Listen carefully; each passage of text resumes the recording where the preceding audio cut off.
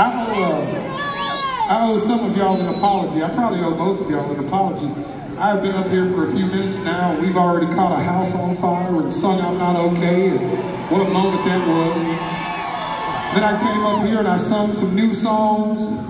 I sung some cover songs. I sung a couple of featured songs. But I know that we got some day one Jelly Roll fans and I haven't sung no old songs yet. If you were one of the people that was worried I was not going to play some of my old music on this tour, don't worry, I would never forget you.